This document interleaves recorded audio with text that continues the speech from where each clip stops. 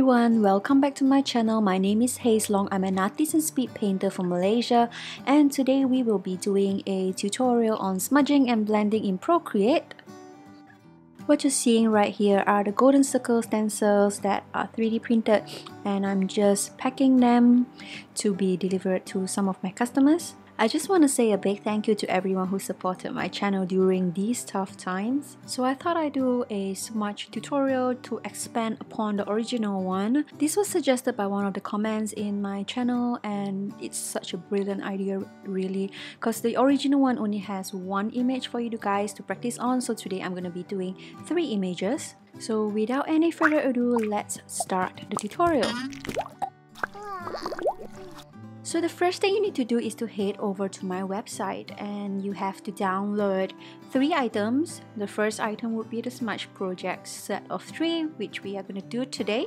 And also you need to have the smudge brushes and also the portrait brush pack. So if you already have downloaded them and installed them, then you can skip these two once you have downloaded the items, make sure you install and export them to Procreate. If you do not know how, you can watch this video on how to do that. And remember to unzip, please. So now this file is the Smudge Projects file and I've opened it in Procreate and this project, this is the first thing that you see which are the instructions.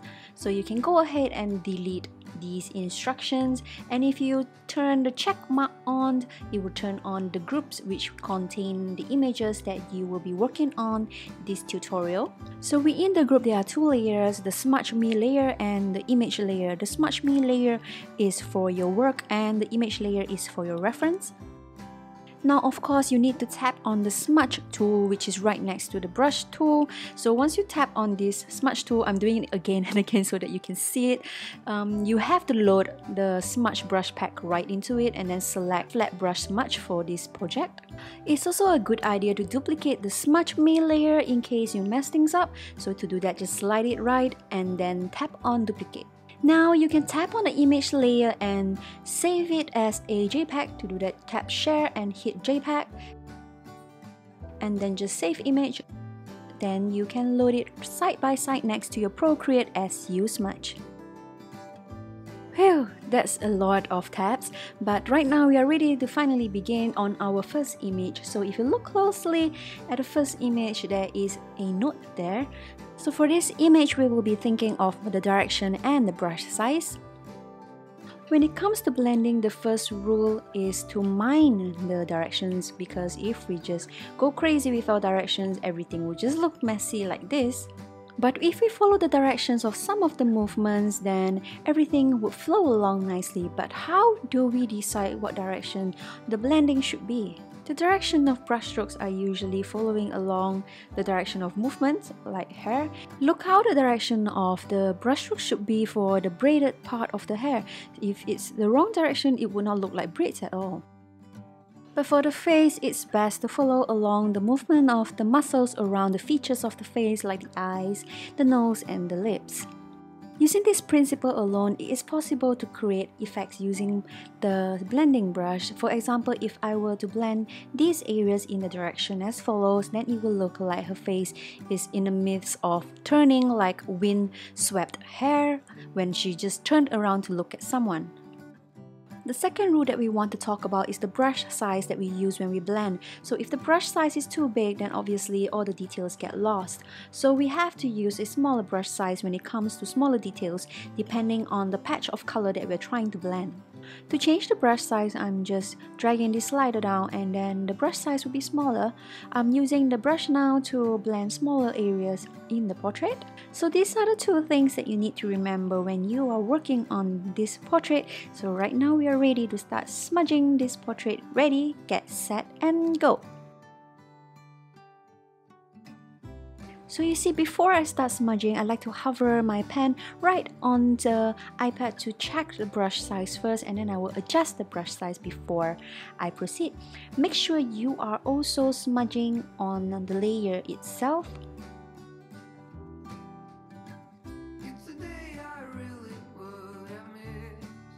So I'm doing the hair first and my left hand is constantly ready to slide the brush size slider to change the size of the brush as I'm working. For this portrait, we are currently using the flat brush smudge from the smudge brush pack.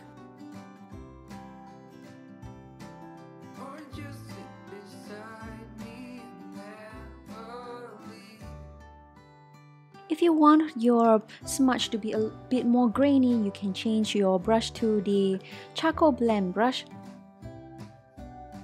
but otherwise, we are sticking with the flat brush smudge because this is a very painterly smudge brush that you can use for most paintings that you're going to be doing.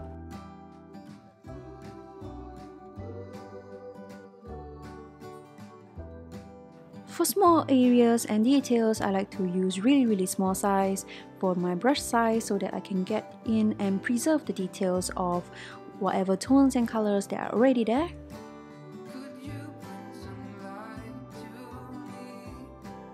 Smudging only works when you're using a very very light pressure. When you're pressing the pencil down as you smudge you do not need to press hard. It's just a very very light gentle touch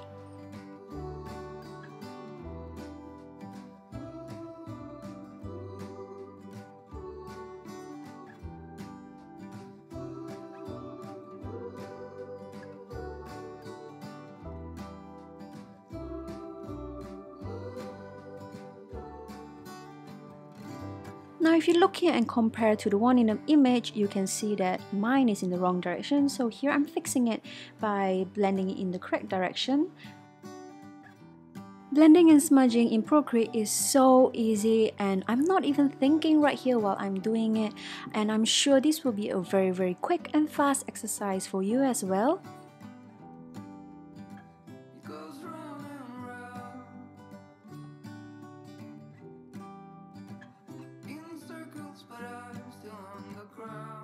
I only spent an hour each for each of the image that we are doing today, so total of 3 hours, I'm sure you can do the same.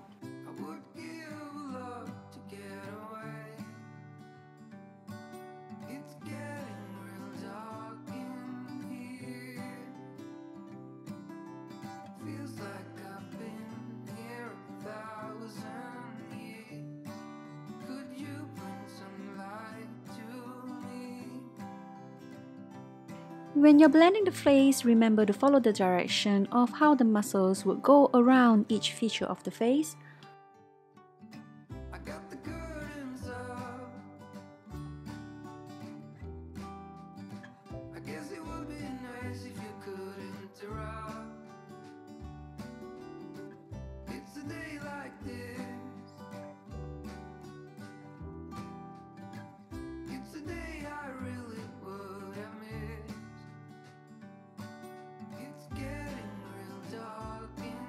For the eyebrows, I like to blend from the skin towards the eyebrow so that I can add in more details later using the hairbrush. When you're blending the eyes, nose and lips, remember to use a small brush size so that you do not accidentally blend and smudge away all the important color and the values.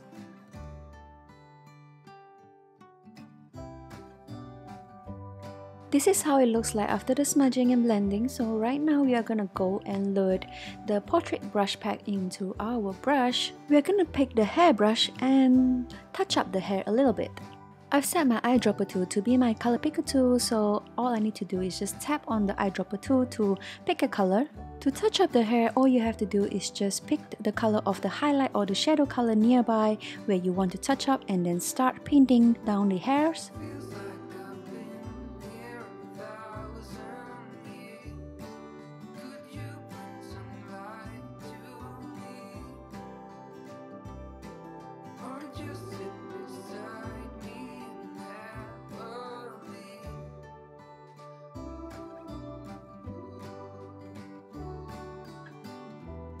I use the same hairbrush for the eyebrows. Now I'm just using the sketch brush to add in the details such as the lashes and some highlights.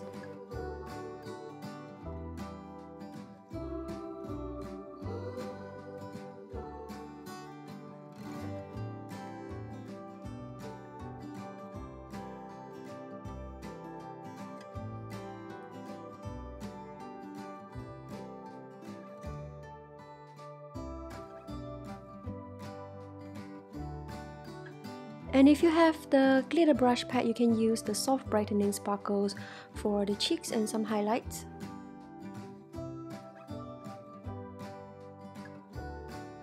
And now we finish the first portrait and let's get started with the next one, shall we? So let's turn off the layers for project 1 and turn on the layers for project 2. For this project, we are going to be focusing on groups of values. So if you see here in the original pictures, there are groups of dark and light tones and we can actually choose to group them as we like. So let's start to plan for that in another layer. I'm just defining some of the groups of the values that I want to retain.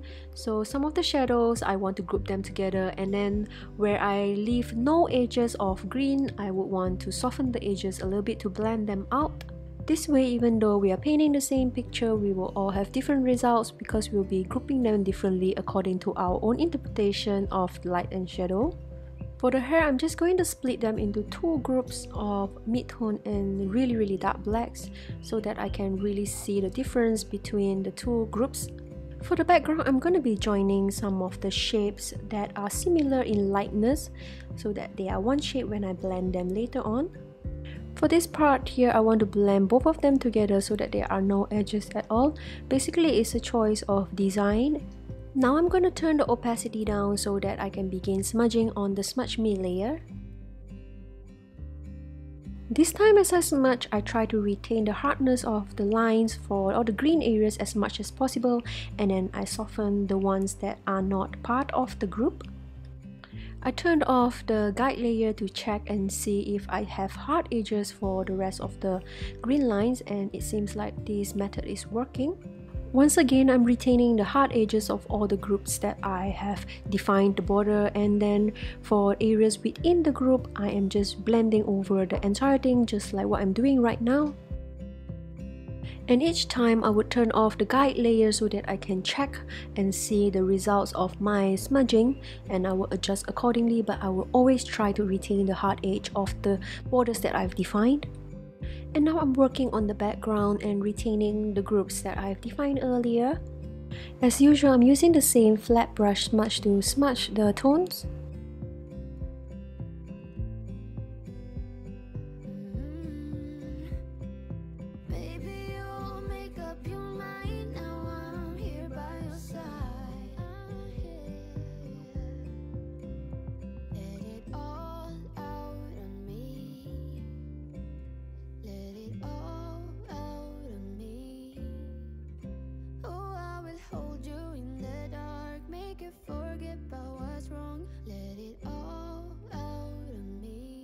Okay, now I'm gonna do the skin tone um, using the groupings and I'm gonna just put down some annotations to help you guys understand what I mean by the groupings that we'll be doing today.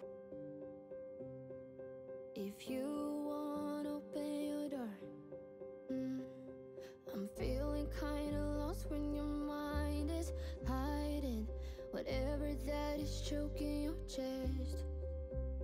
I can see it in your eyes that you're shaking cause you're holding it back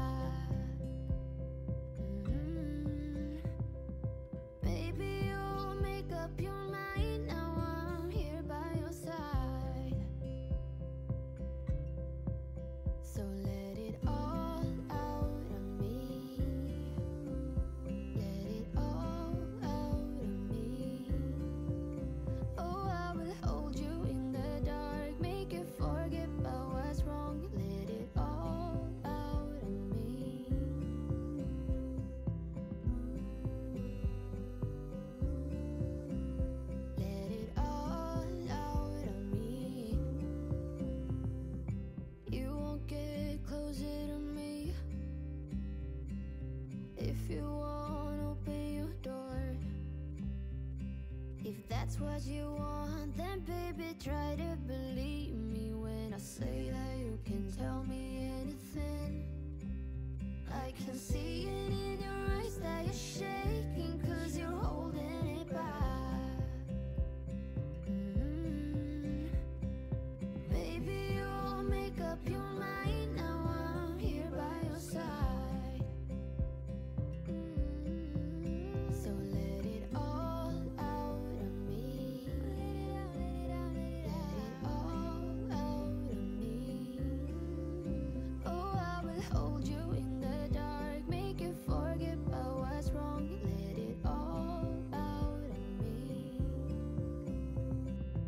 Remember to blend from the skin towards the eyebrows when you're smudging the eyebrows.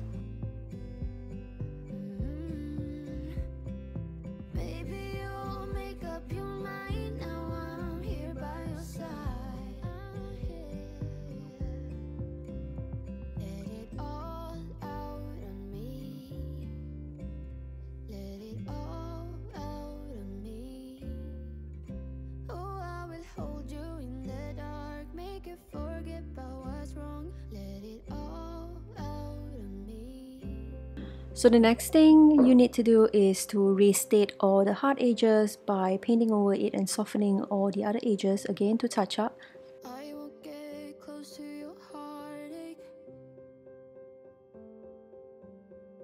Then you can use the hairbrush to do the eyebrows. Then you can use the sketch brush to do the lashes.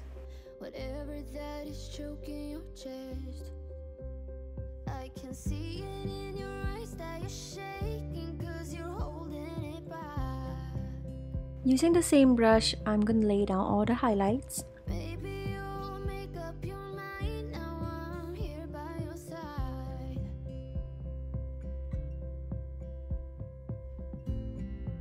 If you have the glitter brush pack, you can use some of the glitter brushes to put some effects onto this painting. The reflective highlights brush is a great brush to add texture to lips, just like this.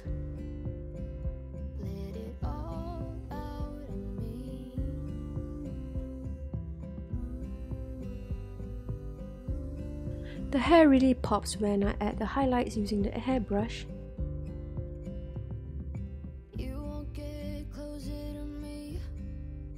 Using the flat brush smudge again, I can smudge the light streaks in towards the face so that it looks like the lights are having a lens flare towards the camera. You can also use the featured highlights freestyle brush to add more highlights to your painting. And with this, the painting for the second project is done and now we'll move on to the last and final painting of today's session. For the last blending tutorial, we are going to work on our hard and soft edges. So there are two types of edges which is the blended edges called soft edges and also hard edges which are very sharp edges that we can tell that there's like a line or a hard edge there.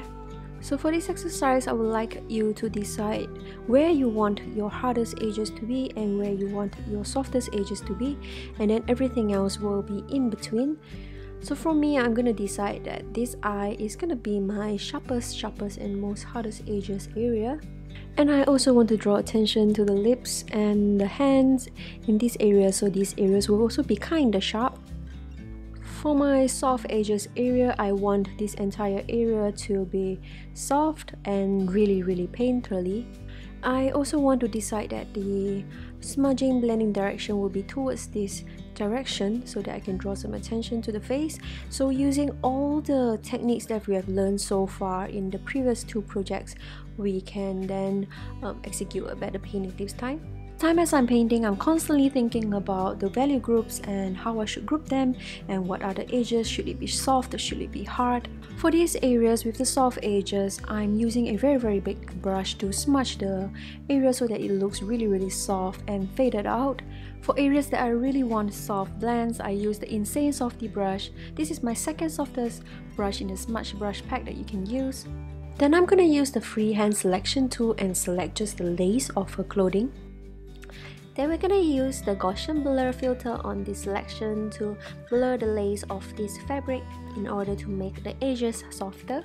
For the hands and the knuckles, if you know how to simplify and determine the right places to have hard and soft edges, you will end up with a hand that is um, very pleasing to look at.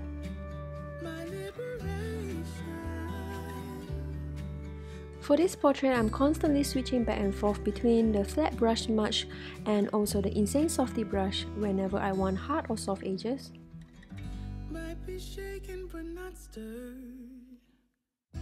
Now I'm gonna add some effects for the bottom area by using the default Procreate brush.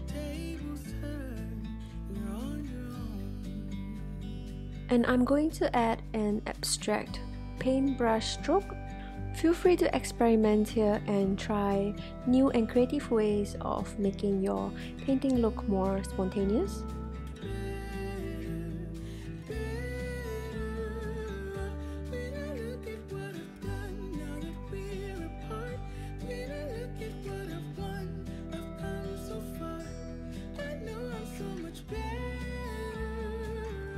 And here we are again, we can use the hairbrush to put in more details for the hair.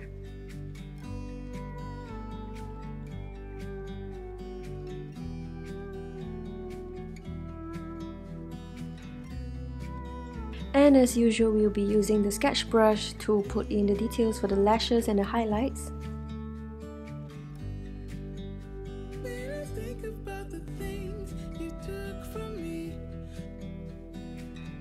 When it comes to the left eye, I want the details to be really sharp and neat and clean, so I'm cleaning up the edges for a bit.